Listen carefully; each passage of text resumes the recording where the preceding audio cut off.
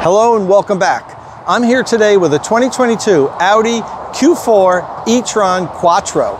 I'm on Audi's media drive for the Q4 in Oceanside, California. Just completed the normal drive of the day and usually we bring the cars back and then they charge them up and we have a nice dinner and everything. But I asked Audi for special permission for me to drive this thing down to zero so I can record a zero to 100% DC fast charging session with the Q4. And Thankfully, Audi agreed. Thank you, Audi, for letting me have this baby for a little bit longer than everybody else. So I did just that. I drove it down to zero. Now I'm gonna plug it in to a 150 kilowatt Electrify America DC fast charger. Now I'm using a 150 kilowatt unit because the maximum charging power on the Q4 is 150 kilowatt. Has the same battery as the Volkswagen ID4. It's an 82 kilowatt hour total capacity battery. Of that, 77 kilowatt hour is usable. It has a slightly higher charging rate than the ID4. When the ID4 launched, it could accept up to 125 kilowatt. But last year, uh, Volkswagen had a uh, software update, and now the ID4s can accept 135 kilowatt. But the Q4 e-tron can accept a little bit more. It's a premium vehicle, so I guess Audi decided they needed to push up that maximum charge rate. What it really does is it makes the estimated 5% to 80% charge rate about two minutes faster than the ID4. It's really not that much. But we're gonna see if the e-tron, the Q4 e-tron lives up to its charging promises right now with our full charge recording. As always, we're gonna make some graphs. We'll analyze the charging curve, the time to charge, and all that good stuff as we always do. But first, don't forget, please click that subscribe button and ring the notification bell so you don't miss any upcoming content here on State of Charge. This video is powered by Qmerit, North America's leading provider of installation services for electric vehicle charging, home energy storage, and other electrification technologies. See how Qmerit is making the energy transition easy for home and business owners by following the link in the description of this video. So as I mentioned, a couple of months ago, I attended the Audi Q4 e-tron First Drive media event, and that's when I did the DC fast charge recording. But there are other ways you can charge an Audi Q4 e-tron. So first, let's talk about those ways before we jump into the DC fast charge recording.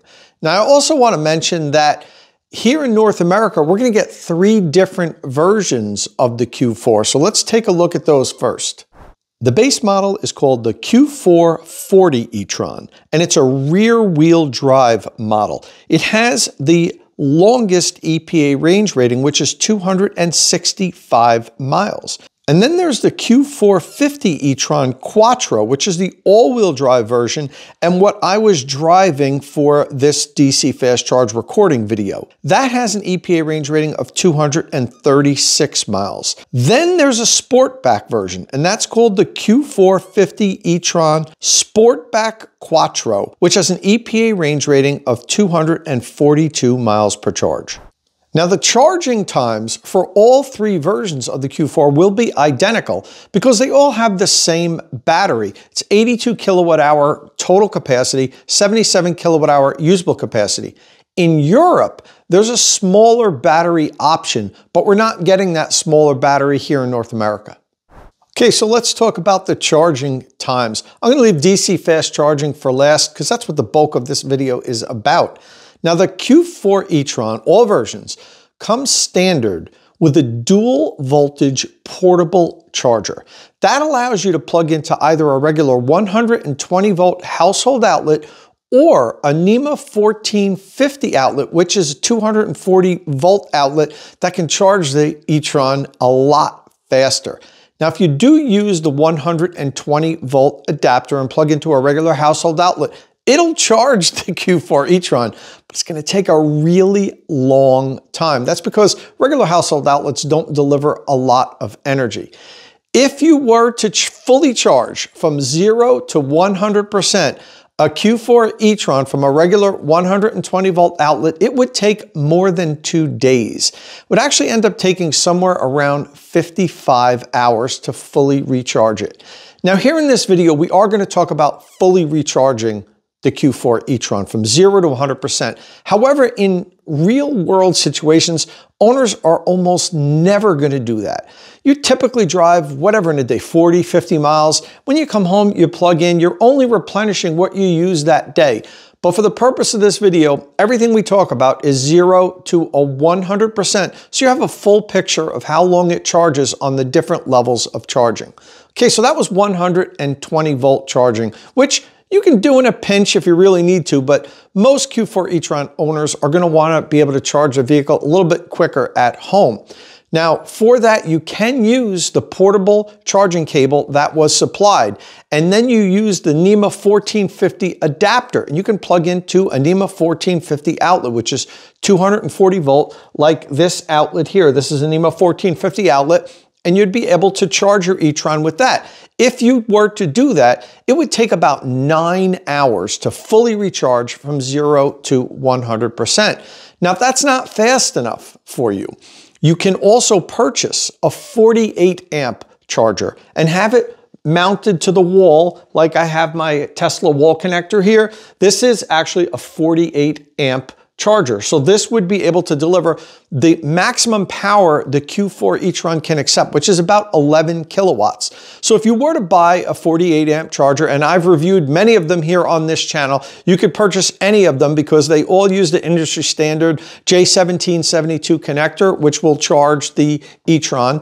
That would cut your charging time down from the nine hours that the supplied charging cable can, can charge it down to seven and a half hours. So that's the fastest the e-tron, uh, Q4 e-tron will charge from zero to 100% on a level two charging source is seven and a half hours. And for that, you do need a 48 amp charger. Okay, so now let's jump into the full recording of the e-tron on a 150 kilowatt Electrify America DC fast charger. After we look at the full recording in time lapse, I'm going to jump to some of the charts that we do where we really analyze its DC fast charging capability. Now, heads up here, Audi promises, as I said earlier, 36 minutes from 5 to 80%. Now, think about that when compared to the level 2 and level 1 charging that we talked about here. 55 hours to fully recharge on a 120 volt outlet either seven and a half or nine hours, depending on if you have a 40 amp unit or 48 amp unit for level two charging. We're talking hours here, but with DC fast charging, we're talking minutes from five to 80% in 36 minutes. So let's see how the Q4 e-tron did when I charged it in person. The Q4 immediately pulls 133 kilowatt as soon as I plug it in, which is a great start, and the charging rate gradually climbs up to a peak of 141 kilowatt, which happens after 10 minutes of charging. Now, I never saw the peak charging rate of 150 kilowatt that Audi promises, but we did get very close. The Q4 then begins to ramp down its power intake over the next 10 minutes before leveling out at about 85 kilowatt once it hits 50% state of charge, which happens in about 19 minutes. I'm stopping the video here to discuss what's gone on so far. The Q4 had a pretty good start and added back 30% of its 77 kilowatt hour usable battery capacity in just 10 minutes. But that's when it peaked and was drawing less than 100 kilowatt after only 15 minutes of charging. Now, on the plus side, the vehicle was at 44% charged in just 15 minutes, which isn't bad, but I'd really like to see the Q4 hold a high charge rate deeper into the pack. Honestly, with this size battery pack, I would expect to see it hold 100 kilowatt to at least 75% state of charge. I'm going to start the recording back up now, but speed it up a little because this is when the vehicle is taking in much less power. After 30 minutes of charging, the Q4 is at 69% state of charge and 75% is reached in 35 minutes. Now, after 38 minutes of charging, The Q4 is at 80% charged. Now, if you recall, I said earlier that Audi promises a DC fast charge time of 5 to 80% in 36 minutes. I was able to charge the Q4 from 0 to 80% in 38 minutes, just two minutes longer. And we did that without ever reaching the vehicle's maximum charging rate, which confirms to me that Audi's charge time estimate is accurate as long as you're charging in warm weather. As with all EVs, the Q4 will charge slower when the battery is colder in the winter months. Now we reach 90% state of charge in 49 minutes, 95% in 55 minutes, and the Q4 is fully charged and the charging session ends after one hour and four minutes of charging. All right, so let's look at the charging summary. The station dispensed 81.44 kilowatt hour. Now, like the ID4, the Audi Q4 e-tron's battery's usable capacity is 77 kilowatt hour. While I did drive it down to where it said 0% state of charge,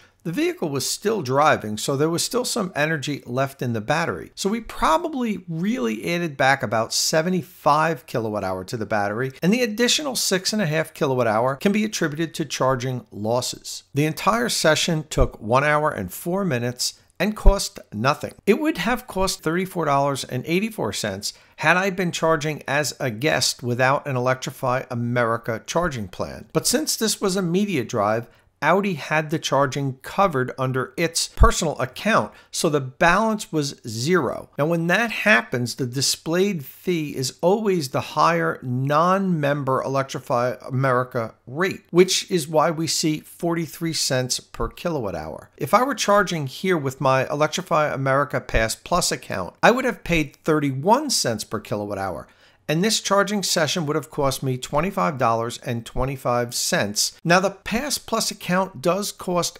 $4 a month, but as you can see here, if you use it just once a month, the fee is more than covered. Now, I'm mentioning this because I frequently do these charge recordings with the manufacturer's account being billed, and the higher price is always displayed. And I sometimes get comments about how expensive it is to charge EVs. So I wanted to let the viewers know that you probably wouldn't be paying what's displayed there if you had a Pass Plus account and an Audi Q4. It would have actually cost about 30% less than what's displayed on the screen here. Okay, so Audi's promise of 36 minutes from 5 to 80% seems reasonable to me. We were able to pretty much duplicate it here on this full charge recording. And from zero all the way up to 100%, just about an hour, that's not bad. It's not great, and um, we're going to get into exactly what I think Audi can do to improve it later on, especially when we get into the charts that we're going to go into now.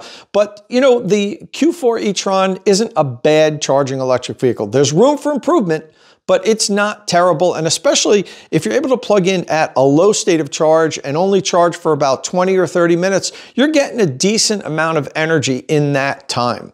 All right, so now let's take a look at our charging power chart where we go over the full charging curve. When we're done with that, we're gonna look at the time to charge chart where we're gonna see how long it takes to add 100 miles of range 200 miles of range, and then also how many miles per minute are added throughout the charging session. Okay, so let's look at the charging power chart. This gives us the full charging curve of the Q4. As you can see, when I plug in the Q4, it immediately pulled about 135 kilowatt and slowly climbed up to the peak of 141 kilowatt here at 30% state of charge. Now, I never saw the maximum charge rate of 150 kilowatt, but that didn't seem to affect the time to charge much because we did hit Audi's promised 5 to 80% charge time. However, that's when things start to go south. Unlike the larger e-tron, the Q4 e-tron doesn't hold its maximum charging rate for long. And after only 10 minutes of charging, it's already derating here and drops below 100 kilowatt at the 15 minute mark when the Q4's state of charge is 44%. Now it continues to drop down to about 85 kilowatt and holds that for a few minutes until the state of charge is 60% before beginning another gradual drop down to about 65 kilowatt, which it holds to about 82% state of charge. That's when it begins a nearly linear descent until the Q4 is fully charged. The one thing I will say was good though was that the vehicle was still accepting 30 kilowatts at 99% state of charge. Some EVs, particularly the ones that don't have a good sized upper end battery buffer, slow the charge rate down to under 10 kilowatt at the end, and it takes forever to get from 95% to 100% charged. That isn't the case with the Q4. What I'd really like to see is the Q4 be able to hold its maximum charge rate longer, like its big brother, the e-tron, can. If the charging curve looked more like this, I believe the 5 to 80% charging time would be closer to 30 minutes. And quite honestly, charging to 80% in 30 minutes or less on a DC fast charger should be an industry standard in 2023. All right, so now let's take a look at the time to charge chart. On this chart, we have the time charging in minutes on the x-axis and the state of charge on the y-axis. What you want to see on this chart is an aggressive vertical climb, which does happen during the first 10 minutes when the Q4 was charging at 140 kilowatt. Now, if the vehicle could have continued at the same rate it was charging at during the first 10 minutes, it would have been 100% charged in about 33 minutes. But that's not how DC fast charging works. And as the state of charge increases, the charge rate decreases. So let's look at how long it took the Q4 to reach some milestones. We reached 20% state of charge in six minutes, which is really good. And then 40% state of charge in 13 minutes, also good, but now it starts slowing up a bit. 60% took 24 minutes. We reached 80% state of charge in 38 minutes, and we were fully 100% charged in 64 minutes. Now let's talk about driving range added and how long it took to add 100 miles and 200 miles. For this, I'm going to use the 236 mile EPA range rating of the Q450 e-tron Quattro, which is the version I drove. The other two Q4 e-trons have slightly different EPA range ratings, so their time to add miles is going to be a little different. Not much really, but it is worth mentioning. The Q450 e-tron Quattro added 100 miles of driving range in 15 minutes, and it added 200 miles after 42 minutes of charging.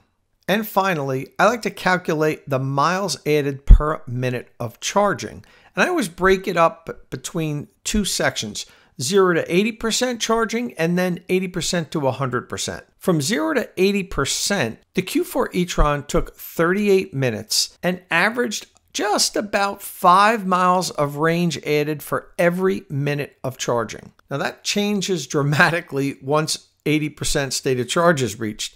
Now, from 80% to 100%, it took 26 minutes, and that comes out to less than two miles of range added for every minute of charging. This disparity is very common when DC fast charging EVs, and it's why manufacturers as well as charging networks recommend unplugging your EV once the vehicle reaches 80% state of charge. And that's because it's just not worth waiting any longer since the vehicle charges so slowly once it's more than 80% charge. I also recommend unplugging at 80% unless you need that extra range to make your destination. All right, so as you can see, the Q4 e-tron is not the best charging electric vehicle available today but it's not terrible either. And I think it would be fine on a road trip. I definitely recommend unplugging when you get to 80% if you don't need that extra range to make it to your destination or to the next charger. Because as you could see, the miles per minute really slows down once you get over 80% state of charge. It's not terrible up to 80%. Definitely could be better, but it's not terrible. But then once you get over 80%, it really slows up. So I would definitely recommend unplugging.